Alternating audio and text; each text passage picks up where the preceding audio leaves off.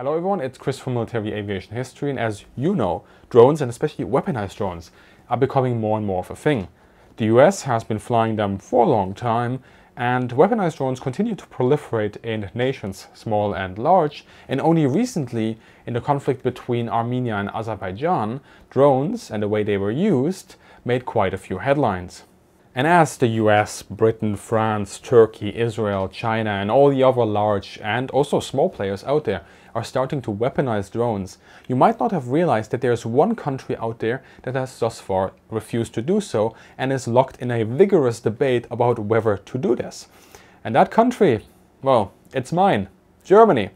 Germany has been locked in a debate for at least half a decade about whether to weaponize its drones or not, and this is actually quite a big issue in Germany and in the political landscape there. The question is just, why is this such an issue? And to answer that question, I have invited Dr. Ulrike Franke from the European Council on Foreign Relations. She is an expert on German defense policy and on drones. For example, she has recently published in the Handbook of Defense Studies and with a chapter on military robots and drones and she is also the co-host of Sicherheitshalber, a German podcast dedicated to German defense policy. She has to follow this debate very closely, and if there's anyone that can explain to both you and me what is going on, well, it's her. So yeah, Dr. Franke, thanks very much for joining me today. Could you give some background information maybe for the international audience that doesn't really know what's going on with the drone debate in Germany? Well, the drone debate in Germany um, has been going on for quite a long time. So there's a bit of a question like how long you want to trace it back because Germany actually had drones since the 1980s and even had plans for armed drones in the 1980s. But I think the, the current drone debate basically started in 2012 mm-hmm. uh, when the then defense minister Thomas de Maizière proposed that Germany should get armed drones. Um, at this point, Germany, the German Bundeswehr, had been in Afghanistan for, well, 11 years. It had used a number, I think five different systems of unarmed drones, primarily used by the army. So we're talking smaller drone systems, but also one Air Force system. And the Bundeswehr basically said, you know, it would be good if some of these systems were armed. It would really help us in our, our operation. And so since 2012, Germany has been debating whether or not we should be getting armed drones. And this really has become a big debate, which is a bit unusual because, because Germany doesn't really have a kind of tradition of, of discussions on security and defense questions, certainly not procurement mm-hmm. questions. Mm-hmm. But, but I think drones kind of captured the public uh, imagination and, and the political to some extent. And so, yeah, for, for the last nine years or so, we've had a discussion whether the Bundeswehr should get armed drones or not. Um, and the procurement still hasn't happened. So there are plans to procure an Israeli system by now. I think we're going to get this the system, but but now the question is, will it be armed or not? So maybe they're just going to get it as an as an unarmed version. Yeah. Um, and and yeah, we're gonna have elections in September, so it may not be decided by this coalition anyway. So it may go into the next coalition again. Um, and it's really quite surprising, given that basically during the same time, I don't know how many countries, maybe ten, maybe a dozen, actually procured armed drones, including European partners. If we talk about the drone specifically, that is at the center of the debate, um, the Heron TP by the Israel uh, aerospace industries. This drone, of course, can be weaponized. It has already been weaponized by other countries. How is the Bundeswehr currently thinking about using system? Because they are leasing it, they are renting it. I mean, there is this whole system.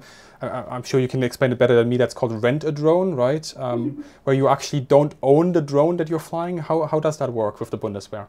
The Bundeswehr has several drone systems, again, all unarmed for the moment. Most of them they actually own. So these are the army systems. They've you know bought them, procured them as other military systems. Mm-hmm. But the Luftwaffe currently flies the predecessor of the Heron TP that you just mentioned, which is the Heron 1, a bit of a smaller system, surveillance drone.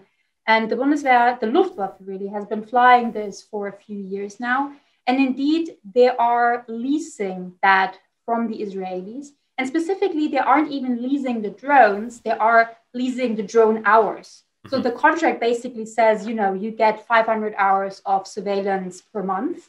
And then it's, based, it's up to the company to provide as many or as few systems as, as are needed. And so in Afghanistan and, and now in Mali, Germany had three Heron ones that it was using. And so now we discussed this procurement or yeah, this leasing of, of Heron TP, the, the successor system or kind of the bigger system in this Heron family, mm-hmm. uh, which can indeed be armed. Doesn't have to, of course, you don't have to put arms on it, but that's kind of the idea. And this would also be leased. And what's sort of the, the roadmap then? The idea is that the Bundeswehr um, gets these systems, I mean, in a way, as soon as possible. Funnily enough, the Heron TP isn't even supposed to be, you know, Germany's main armed drone. This is supposed to be an interim system mm-hmm. that kind of covers the gap until Germany, together with other Europeans, gets the Eurodrone. The Eurodrone is a common European project that's being developed jointly by several European partners.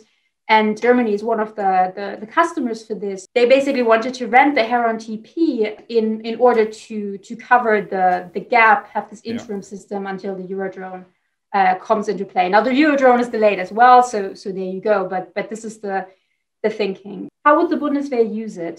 the main reason, the primary reason that the Bundeswehr has really repeated since the beginning, they, they've been very consistent in their, in their argument.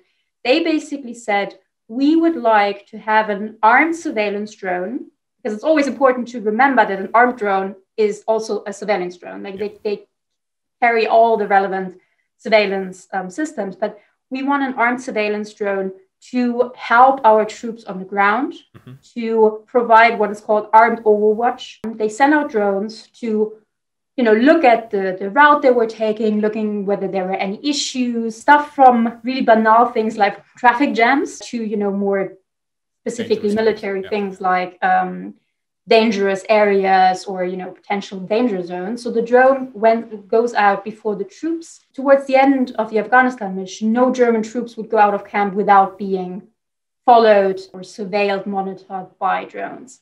And if these drones were armed the big advantage this would give the troops is that if something happens if they're being attacked then they have immediate air support with them immediate air support, flexible air support. They don't have to wait for anything. They don't have to ask allies to provide air support. Air support. Um, it's also rather precise and also rather small um, missiles that we're mm-hmm. talking about. And, and yeah, so I think this, this um, help of the troop on the ground, armed overwatch is really the number one priority for the Bundeswehr when it comes to armed drones. And the main argument that they're making why they want armed drones. Most people are probably going to see those arguments and say those make sense. If Germany sends the Bundeswehr or their soldiers to a place where they are potentially exposed to danger, then obviously we, we should do everything to protect the soldiers. How come that this debate is happening in Germany in a way that I think in most countries there wouldn't even be a debate on this? I would say that there are kind of three main reasons why this has become such an issue for Germany. Mm-hmm. And I think the first one is that from the very beginning, drones, armed drones, were associated in the German discussion with the way that the Americans used their armed drones, namely for targeted killings outside of official battle spaces. We're talking predominantly Pakistan, the tribal areas of Pakistan, mm-hmm. but also Yemen and Somalia. Flow not even necessarily by the Air Force, but by or under the, the guidance and leadership of the CIA. So, and of course, these operations, these targeted killings, um, are extremely controversial, not just in Germany, but really everywhere.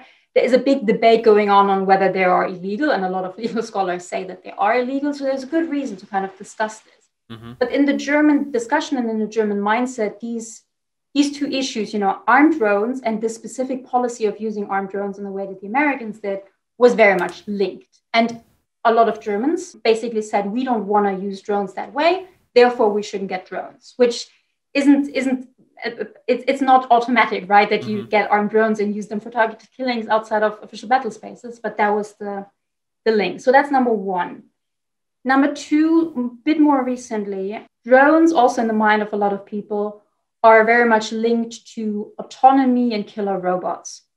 You even have, you know, SPD politicians that basically say, so social democrats in Germany who have been opposing this, who basically say we don't want to get armed drones because we are against the automation and the autonomy in warfare, which just doesn't really hold up because you can easily be against autonomous weapons in warfare and still get these remotely piloted drone systems, right? The Heron TP has, has a crew of three that flies them, but this also is linked. There's this idea of you know drones being killer robots, and then third, Germany doesn't really have a, a tradition of discussing security and defense topics uh, for various reasons.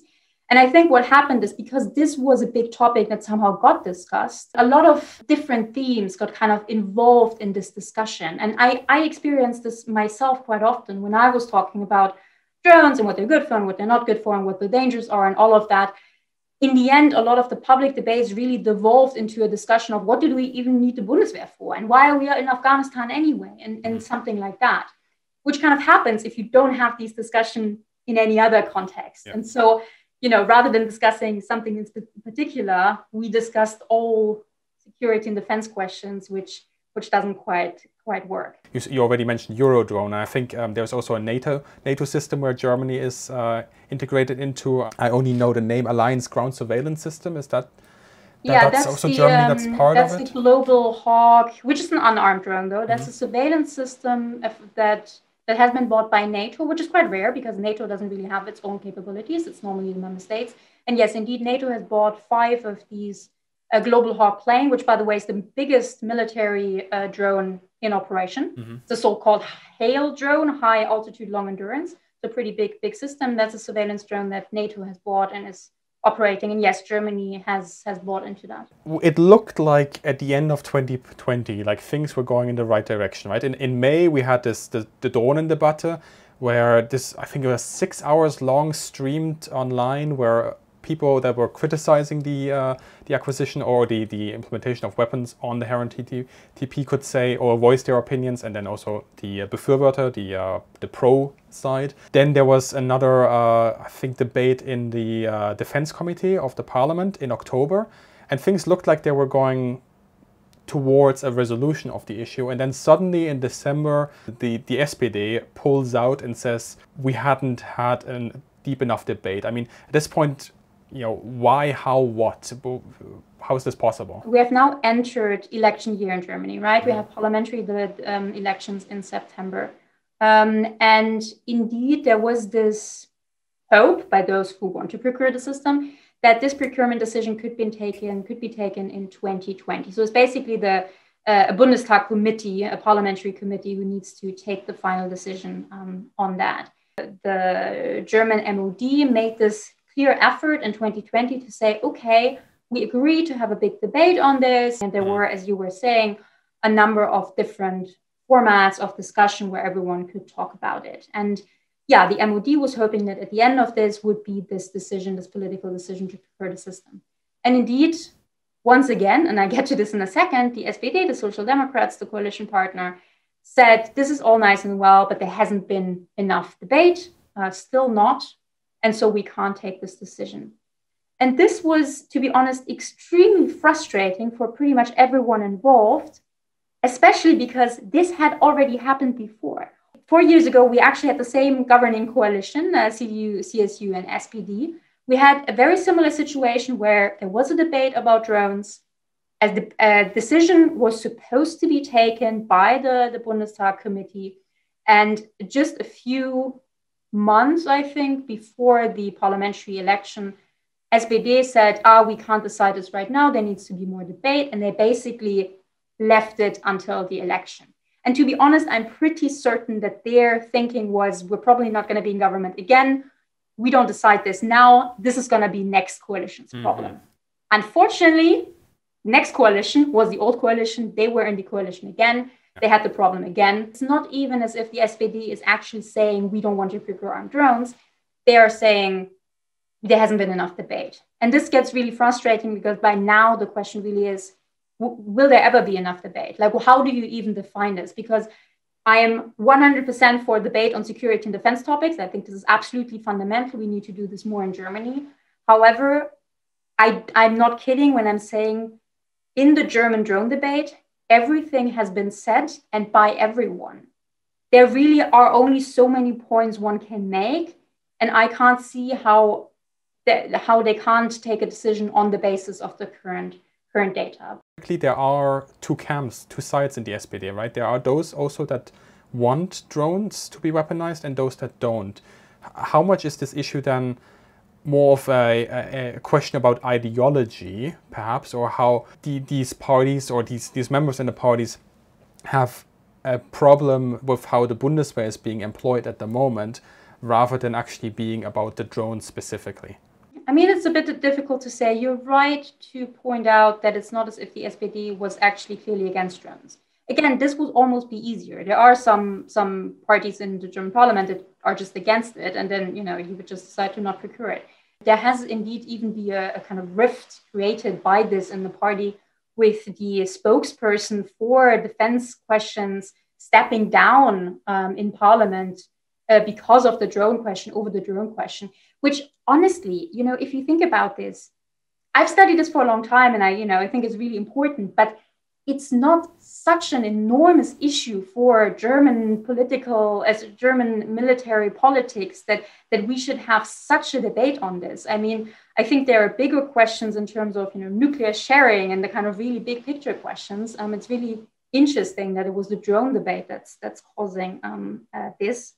This is also a party which, as many social democrats in in Europe. Um, they're losing votes and they're losing voters and they're kind of trying to figure out on which issues they should position themselves and how they should position themselves.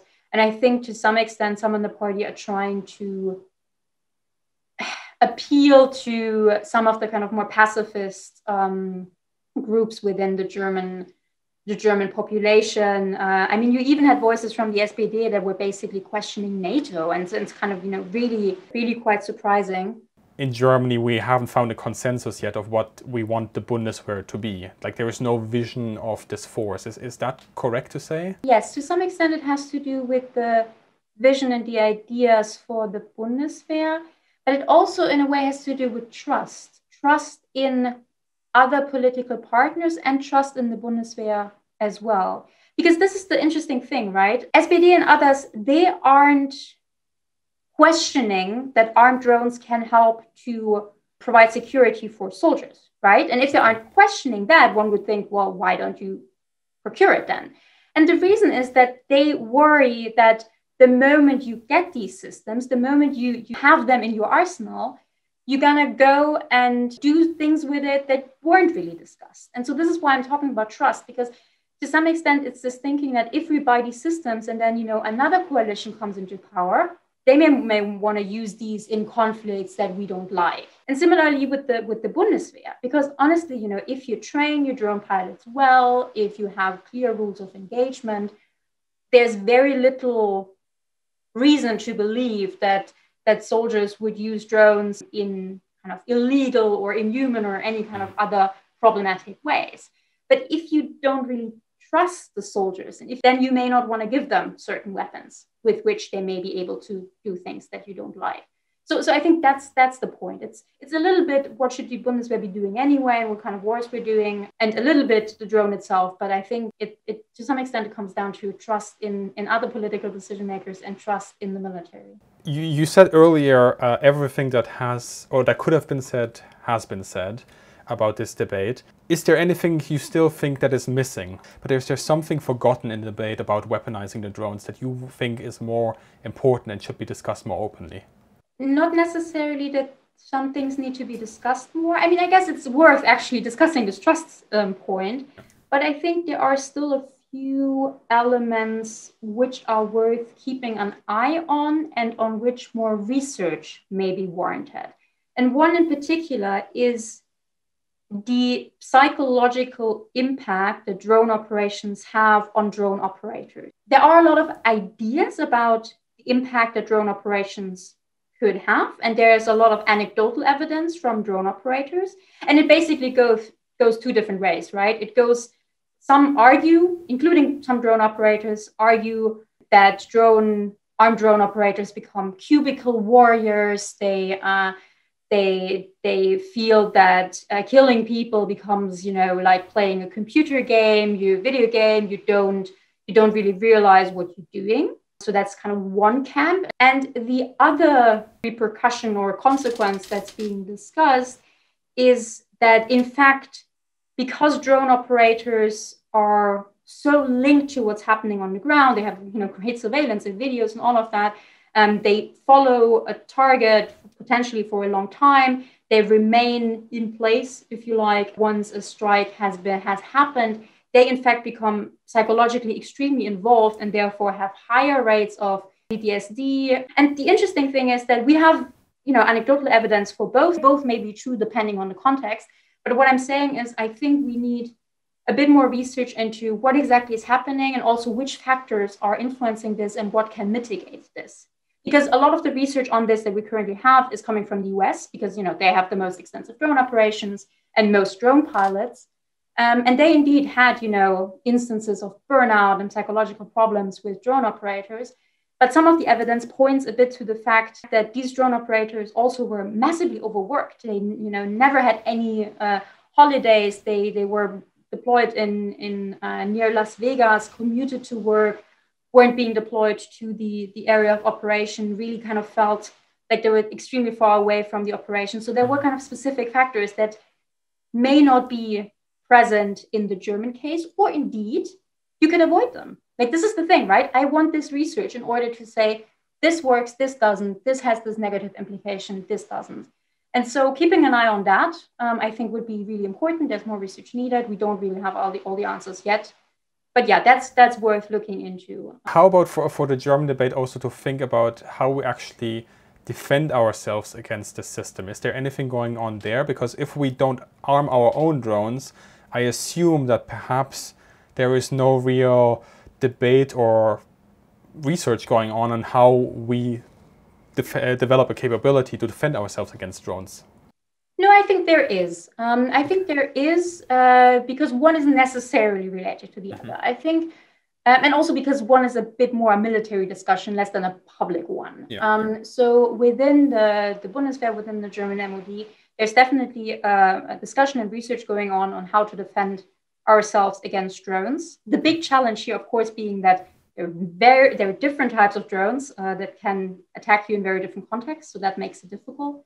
But they're looking into this, and I think the recent conflict in Nagorno Karabakh has actually fueled this quite a bit. So, you know, as as as your audience will know, in Nagorno Karabakh, uh, we saw in this conflict between Azerbaijan and Armenia the use of different drone systems, including so-called suicide drones, kamikaze drones, loitering munition. And this conflict, I mean, A showed how militarily useful armed drones can be, but it also showed that you really need a good defense against armed drones, otherwise you have a problem. And so the German Defense Minister Annegret Kramp-Karrenbauer has been quite outspoken on saying, okay, we need to look into this. And I mean, luckily, the two aren't really related, right? You can say we don't want armed drones, but we definitely need defense against drones. But anti drone systems, counter drone systems, really is an enormous growth area and something that a lot of militaries all over the world are looking into. And it's not that easy. Unfortunately, it's really difficult to find something that works everywhere and in every context and against every drone and and cost efficiently. So, so, so as a last point, I mean, I'm sure you piqued the interest of a lot of people. Do you have any sort of recommendations on where people could turn into towards to if they want to know about drones in general, or even about the German uh, debate?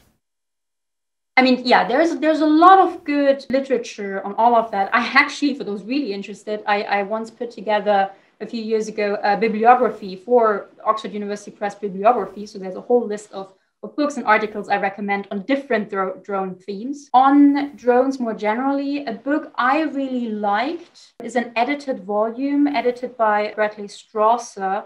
It's called Killing by Remote Control, which I think is really quite good at, at, at outlining some very important points.